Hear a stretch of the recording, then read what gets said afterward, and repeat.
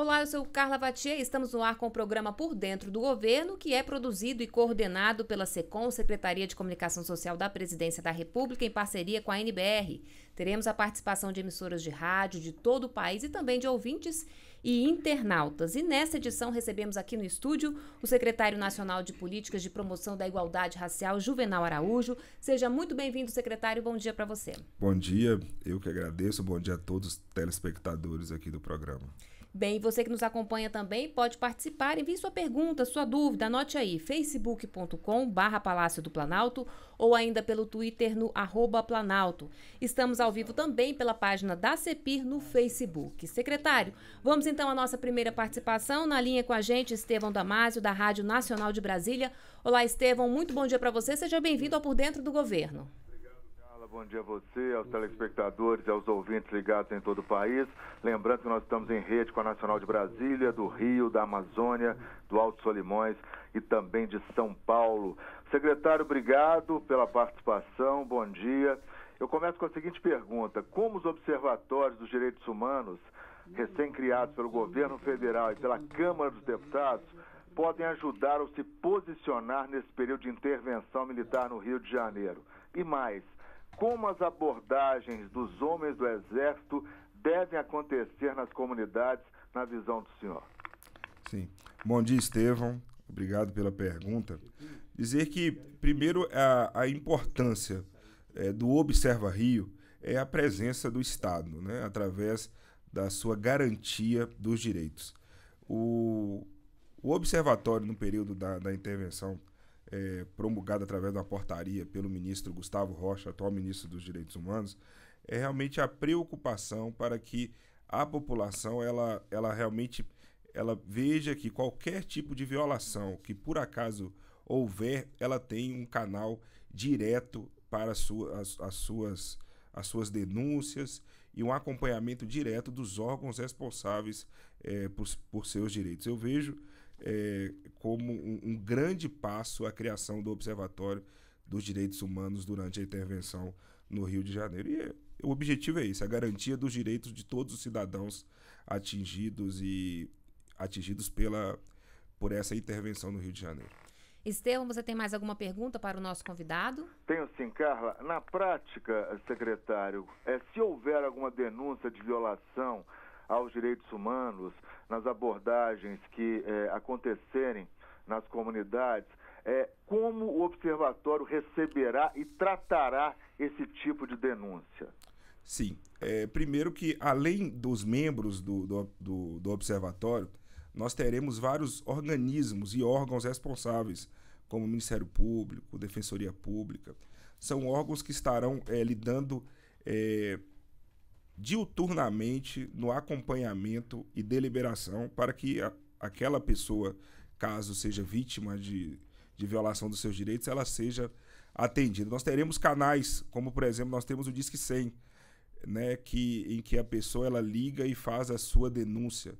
Essas denúncias automaticamente elas serão é, direcionadas ao observatório para que o observatório então é, possa tomar as medidas necessárias. Além disso, nós teremos também uma atuação permanente nestas comunidades, é, mostrando todos os canais de comunicação ao qual as possíveis vítimas de violações elas possam é, realmente se comunicar com o observatório.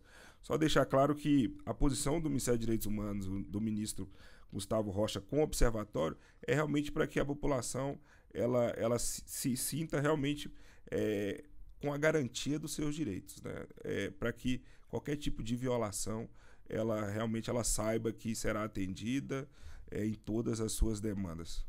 Agradeço a participação do colega Estevão Damátio, da Rádio Nacional de Brasília. E a gente segue agora até o Rio de Janeiro. Vamos conversar com Marcos Antônio de Jesus, da Rádio Tupi. Olá, Marcos Antônio, muito bom dia para você. Muito bom dia para você, bom dia para o secretário.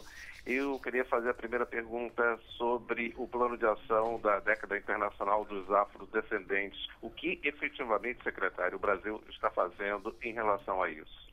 Então, né, acabo de chegar da 37ª reunião do Conselho do Conselho dos Direitos Humanos das Nações Unidas em Genebra, e ali eu estava representando o Ministério dos Direitos Humanos através do, do ministro Gustavo Rocha é, para que nós pudéssemos ali realmente mostrar, além do compromisso do Brasil, né, com todos os acordos, com todos os, os acordos ali firmados em relação à garantia dos direitos humanos.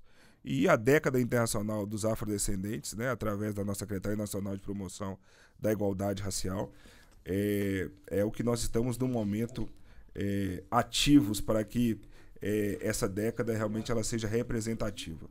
Uma das ações é a realização da Conferência Nacional de Política de Promoção da Igualdade Racial, que será do dia 27 a 30 de maio. E, e, e esta, essa Conferência Nacional é, um, é uma das nossas ações pela década internacional dos afrodescendentes. Uma outra ação pioneira do Brasil é a questão da construção da Declaração Universal dos Afrodescendentes, né? que foi uma também das nossas ações é, em Genebra, para que nós possamos, né, é, se possível, possivelmente antes de setembro no Brasil, ter uma reunião com países é, africanos, também do Caribe e da América Latina, para que nós possamos já dialogarmos para que essa declaração universal dos afrodescendentes ela possa ser promulgada é, pela, pela, pelas Nações Unidas é, o mais breve possível. Marcos Antônio de Jesus, mais alguma pergunta para o nosso convidado? Só mais uma. É, secretário, o senhor acha que as penas aplicadas para discriminação racial no Brasil são suficientes ou elas poderiam ser um pouco mais rigorosas? Infelizmente, Marcos, não são suficientes. Com certeza, é, nós vivemos num, em um país em que mais de 50% da população são de, de negros, né? E o racismo nós vemos hoje latente no, no, no, no país. E, infelizmente, é, o racismo não é tratado como crime na sua punição. A cada dia nós vemos é, é aí as agressões, seja através de racismo religioso, racismo institucional, em que a vítima, ela, ao denunciar os crimes de racismo, é, geralmente somente nos canais é, de segurança pública, eles sofrem um outro tipo de racismo. Por isso que, que é muito importante que nós tratemos essa questão de racismo como crime. Né? Nós temos nossos canais de denúncia, né, que eu já citei aqui. Um deles é, é o Disque 100, para que, para que nós possamos é, é, é realmente tratar do racismo como crime no Brasil. Mas precisamos também no judiciário de penas é, é mais duras realmente para que possam refletir a, o, o, a, a grande perda e o grande ataque é, que sofre é, quem é, realmente sofre qualquer tipo de discriminação racial. É, a, a pessoa que sofre o racismo no Brasil hoje, é, infelizmente, ela sente que o agressor a cada dia se torna impune. É uma das discussões da nossa secretaria para que o judiciário realmente é, possa interpretar a punição do agressor como é, é, devido ao tamanho da agressão que é a discriminação racial.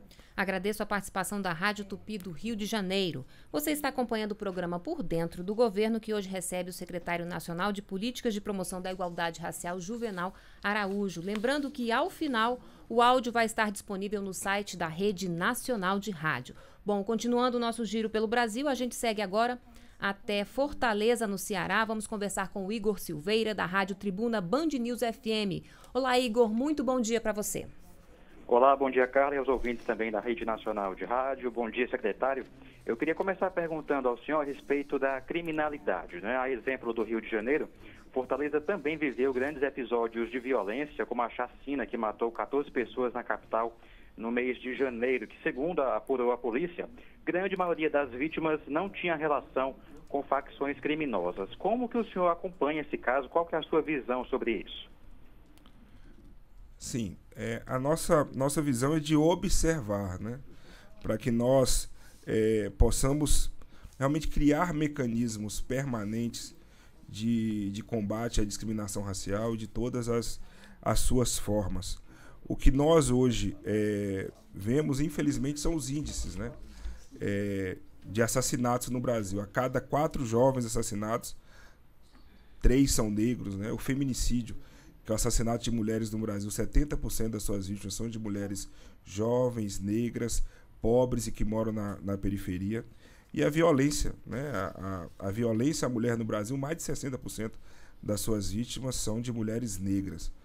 Então, a nossa preocupação é que nós tenhamos canais de atendimento especializados, né? por exemplo, as delegacias, as delegacias em que, que nós estamos trabalhando hoje para que sejam criadas delegacias especializadas em crimes raciais, discriminação racial, intolerância religiosa, intolerâncias correlatas, é, faz com que nós tenhamos um canal especializado de atendimento a essas vítimas de racismo.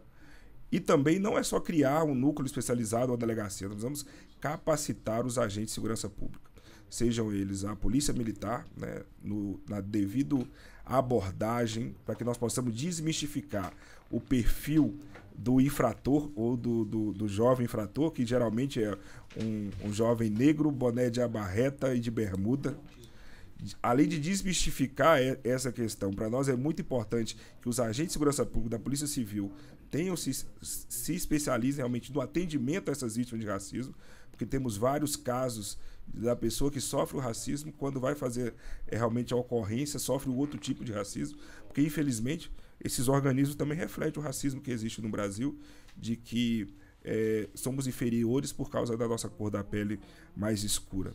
Também a capacitação dos gestores que trabalham política de igualdade racial, do monitoramento dessa política e também a capacitação, principalmente da sociedade civil, para que eles nos ajudem para que é, qualquer tipo de discriminação ela possa ser é, realmente é, denunciada e ela possa ser erradicada e, e os seus agressores punidos.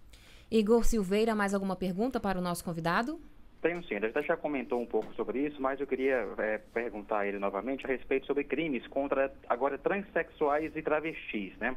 Tivemos casos emblemáticos aqui em Fortaleza, como o da Dandara dos Santos, que foi morta no ano passado. Na sua avaliação, secretário, que tipo de política pública seria mais eficaz no momento no combate a esses crimes no país? Sim, é, quero citar um, um, um exemplo, Igor, de que, é, infelizmente, né, a expectativa de vida do transexual e travesti negro no Brasil é de apenas 35 anos devido à violência. Né? É, e é uma. É um, nós temos que lidar com, com isso através de, de da inserção, do seu, da garantia dos seus direitos e também através de políticas públicas. Né?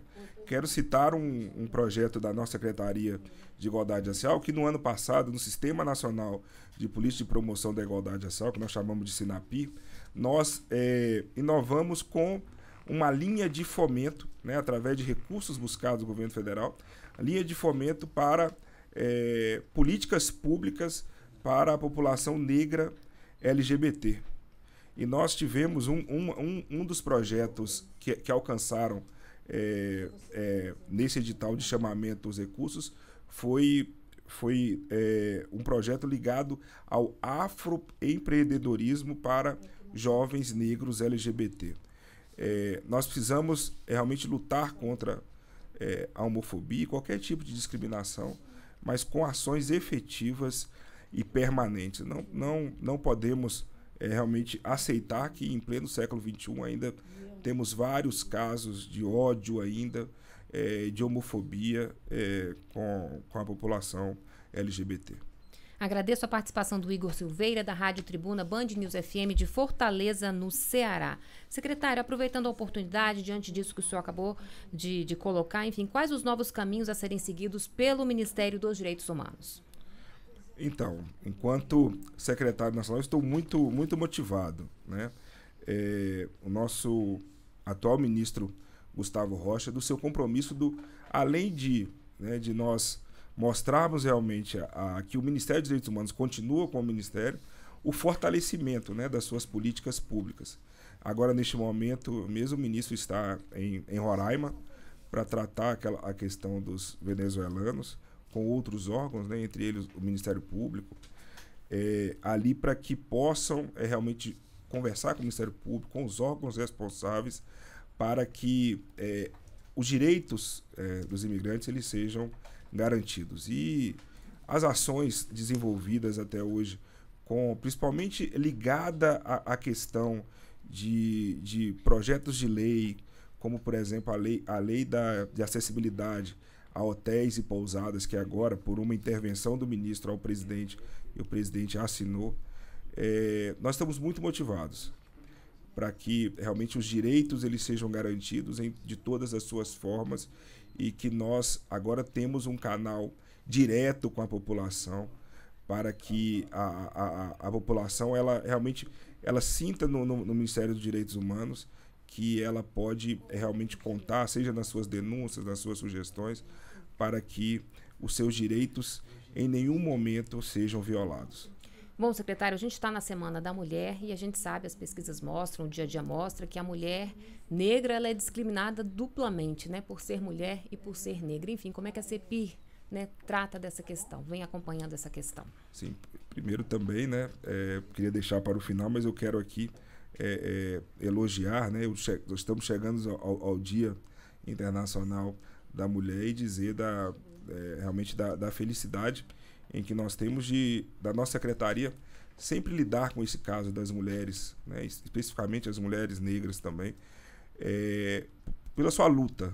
Né? Nós estamos é, agora junto à Fundação Cultural Palmares, amanhã, é, lançando uma campanha que se chama O Meu Lugar é Aonde Eu Quiser.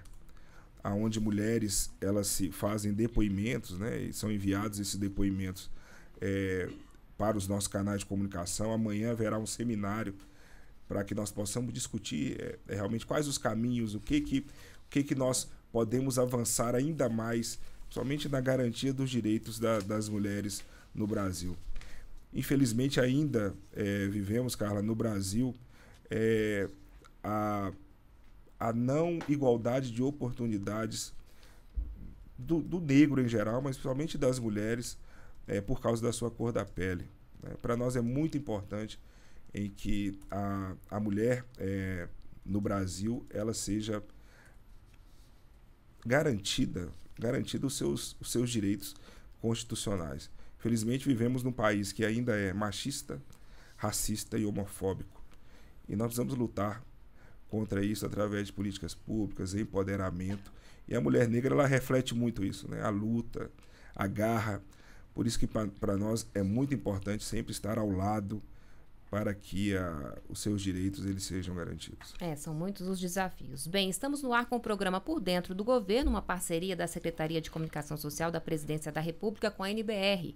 E hoje temos a presença do secretário nacional de Políticas de Promoção da Igualdade Racial, Juvenal Araújo. Participe com a gente, envie sua pergunta pelo facebook.com barra Palácio do Planalto ou ainda pelo Twitter no arroba Planalto. A gente também está ao vivo pela página da CEPIR no Facebook. É, secretário, fala um pouquinho, então faça um balanço dessa uh, agenda que o senhor cumpriu em Genebra, né? É, agenda da ONU nessa área dos direitos humanos. Que balanço o senhor pode fazer? Sim, é, foi muito importante. Além de representar o Brasil, representar o Ministério dos Direitos Humanos, né? É, é, representando o ministro dos Direitos Humanos, Gustavo Rocha, nós também, é, na ocasião, nós ali representamos também a, a nossa comunidade de países da língua portuguesa, né? CPLP. E ali, além de, de mostrarmos o, o empenho é, de mostrarmos a, o fortalecimento do Ministério dos Direitos Humanos nós ali mostramos que o, o, o Brasil ele continua reafirmando o seu compromisso né, com a temática do, dos direitos humanos. Então, foram agendas extensas. É, também tivemos uma agenda com a alta comissária adjunta dos direitos humanos das Nações Unidas, a Kate, Kate Gilmore. E, e ali nós podemos apresentar a criação do, do Observatório de Direitos Humanos durante a intervenção no Rio de Janeiro. E, e foi, fomos, foi muito bem recebido essa iniciativa do Ministério de Direitos Humanos para que é, realmente durante essa, essa intervenção a sociedade é, é, ali que mora no Rio de Janeiro, na, nas comunidades atingidas pela intervenção, elas possam ter um diálogo permanente com, com o Ministério para que é, qualquer tipo de violações dos seus direitos eles se, tenham esses canais para para que possam fazer a denúncia e que eles com certeza serão apurados, averiguados e caso seja constatado, é, seus responsáveis serão punidos. É, estivemos também com o alto comissário na questão de afrodescendentes das Nações Unidas, o senhor Yuri Boichenko, para falarmos sobre a década internacional dos afrodescendentes.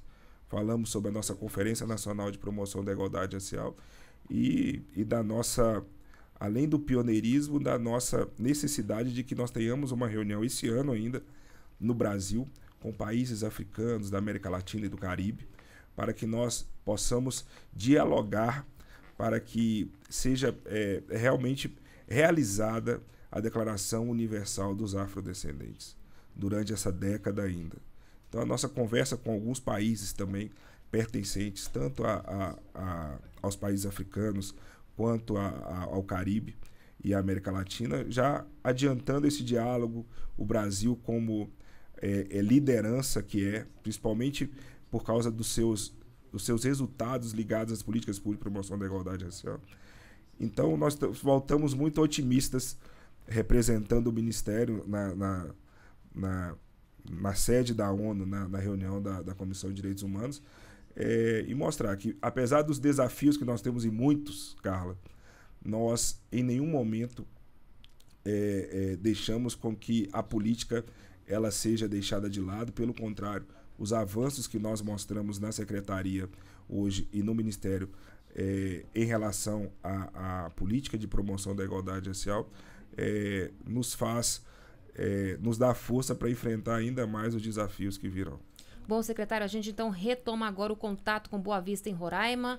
Vamos conversar com o Érico Veríssimo, da Rádio Equatorial 93 FM. Olá, Érico, está na linha. Bom dia para você.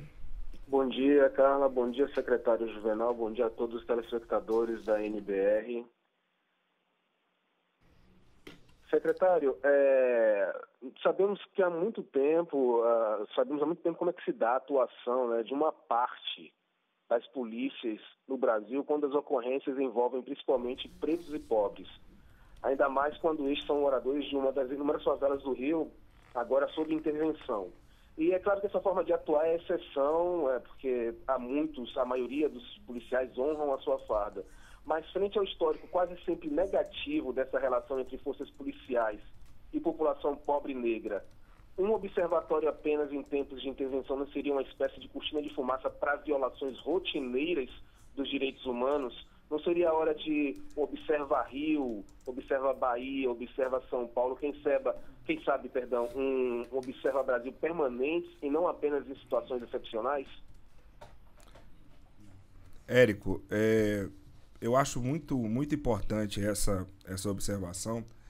É, eu tenho certeza, né, pelas ações em que o ministro Gustavo Rocha já desenvolveu, está desenvolvendo à frente do Ministério, que nós teremos uma resposta assim para o Brasil. Né? É, o ministro é, teve uma reunião há poucos dias também com representantes de estados é, para que possa discutir a segurança pública no Brasil no, no âmbito né, do, dos direitos humanos.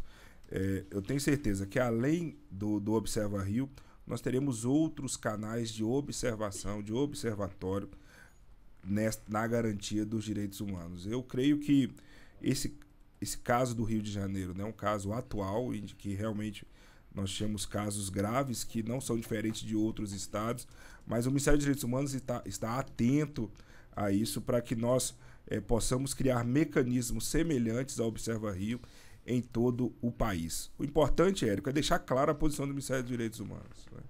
O Ministério dos Direitos Humanos é, ele, ele está aqui realmente para garantir os direitos dos cidadãos. Né? Independente da sua cor da pele, independente da sua raça, independente do seu credo, independente da sua ocupação profissional, os direitos humanos estão para garantir. Então, se o mecanismo é, for um observatório é, é, em que é, realmente órgãos responsáveis façam parte de uma rede, é esse o caminho que, que nós iremos tomar. Vamos é, aguardar os desdobramentos, mas eu tenho certeza que, que nós aperfeiçoaremos os nossos canais de comunicação com a sociedade na, na, no monitoramento de todas as violações dos direitos humanos da sociedade brasileira. Érico Veríssimo, mais alguma pergunta para o nosso convidado? Bom, é, como bem deve saber o, o, secretário Juvenal, hoje tem agendado aqui para Boa Vista a visita, agendada a visita do ministro interino né, dos Direitos Humanos, Gustavo Vale do Rocha. Ele vai estar aqui em Pacaraima, né, que é a cidade fronteira aqui, que recebe por onde entram os venezuelanos. Gostaria de saber se o, o, o secretário está acompanhando essa situação, é, se já há relatórios em suas mãos e se pode adiantar algumas medidas da, do Ministério dos Direitos Humanos frente a essa situação, porque a gente já teve várias participações, várias visitas, na verdade, inclusive do próprio presidente Michel Temer, e agora teremos mais essa. É, o que é que de concreto a gente pode esperar para, pelo menos, é, daqui dos próximos dias ou algo é, é em, tempo, em, em, tempo médio? Sim, Érico, até citei né, a visita dele aqui a, a Roraima, é, e não só dele, né, mas também junto a outros órgãos, como o Ministério Público é, também. Com certeza, né, nós estamos aguardando o seu retorno para que nós já possamos informar à sociedade os nossos o, o, o desdobramento desta visita e com certeza anunciaremos é, em breve qual é, será a, a, nossa atuação na garantia é, dos direitos desses imigrantes. E também é, é, nós aguardaremos o retorno do, do ministro para que nós possamos, não só no caso de, da, da, dos venezuelanos, em Roraima, mas também nós temos os casos dos, dos haitianos, nós temos outros casos em que com certeza nós é, daremos a resposta devida. Né? Estamos acompanhando a visita do ministro em, em Roraima e a sua, a sua responsabilidade né? em que ele colocou para si nestes casos, é, com certeza nos mostra a seriedade do qual será tratado não só o caso de Roraima, mas também nos outros casos de imigrantes no Brasil. Agradeço a participação do Érico Veríssimo, da Rádio Equatorial 93 FM de Boa Vista, em Roraima. Seguimos agora até Goiânia. Vamos conversar com Rubens Salomão, da Rádio 730 AM. Olá, Rubens. Muito bom dia para você. Qual é a sua pergunta? Com Brasília, para a gente entrevistar o secretário nacional de Políticas eh, da Igualdade Racial, eh, Juvenal eh, Araújo. Me desculpe, Juvenal, o senhor me ouve, secretário? Sim, sim. Me desculpe pelo, pelo problema no contato. Obrigado pela participação aqui na Rádio 730. Secretário, eu gostaria de uma opinião do senhor sobre essa questão da discriminação racial no Brasil e o momento de divisão política por que nós passamos. Eu falar ao vivo aqui para 730, para a região centro-oeste. Eh, como é que fica essa eh, divisão do país? O país não está dividido e abre-se um lado eh, ligado à direita, que permite né, uma maior possibilidade de, de que manifestações discriminatórias tenham mais espaço, principalmente nas redes sociais, secretário? Rubens, bom dia, obrigado pela sua pergunta. É, nós realmente estamos atentos a essa questão. Infelizmente, no Brasil, nós tivemos mais de 300 anos de escravidão, estamos este ano completando 130 anos que dizem que houve a abolição da escravatura. É, eu falo dizem porque até hoje né, nós somos a maioria da população brasileira e a invisibilidade é, é, relativa ao negro ainda é grande, principalmente nas oportunidades. Né? É, nós acreditamos que nós só venceremos o racismo no Brasil através de políticas públicas. Políticas públicas essas efetivas e permanentes. Citei alguns dados aqui da vulnerabilidade do negro no Brasil. É, todo tipo de divisão que existente no Brasil, seja político-partidária ou não, infelizmente é a população é, é, negra, né, que é a, a, a maioria, é, que é atingida. É, infelizmente, essa invisibilidade do negro nós temos nas três esferas hoje no Brasil. Seja no judiciário, nós temos tão poucos negros hoje ocupando os cargos no judiciário nós temos hoje no legislativo tão poucos vereadores, deputados, senadores negros ocupando seus espaços e no executivo também ocupando é, os seus espaços, o negro é, enquanto gestor público. E essa invisibilidade do negro no Brasil faz com que é, nós não sejamos representados à altura da nossa quantidade populacional. É, um desafio, Rubens, mas o nosso, o nosso entendimento, o nosso direcionamento é para que nós não abaixemos a cabeça, não, continuamos lutando para exigir os nossos direitos, exigir realmente a nossa visibilidade como cidadão. Né? Nós, costumo dizer que nós não queremos ocupar o espaço de ninguém, nós queremos dividir o mesmo espaço. É, nós não queremos é, buscar nada de ninguém, nós queremos mostrar que nós somos iguais perante a lei e que a cor da pele não pode continuar nos separando, seja por inteligência, por intelecto ou por capacidade. É um desafio, mas nós estamos é, nessa luta junto para que nós possamos mostrar que, que essa luta ela não é só do negro, né? A luta contra o racismo, a luta contra a desigualdade social, a luta pela igualdade de direitos, ela é uma luta que não é só do negro, ela é de todos nós. Né? Então, vamos continuar em frente para mostrar para a sociedade civil que nós não podemos, em pleno século XXI, a, cor, a nossa cor da pele fazer diferença entre cidadãos. Agradeço então a participação do Rubens Salomão, da Rádio 730M de Goiânia, Goiás. E assim a gente encerra o nosso programa. Quero agradecer a sua participação, secretário. Muitíssimo obrigada e até uma próxima oportunidade. Carla, eu que agradeço e reitero aqui né, os, os parabéns às mulheres guerreiras, independente da sua cor da pele, da sua profissão, dizer a importância que nós temos de que dar realmente o valor devido e que seus direitos sejam iguais também na prática. É Muito obrigado a todos os telespectadores. Obrigada mais uma vez. Bem, eu agradeço também a todos que nos acompanharam pela TVNBR, pela Rede Nacional de Rádio e também pelas redes sociais. Você pode rever o programa no canal da TVNBR no YouTube. E o áudio também estará disponível no site www.redenacionalderadio.com.br.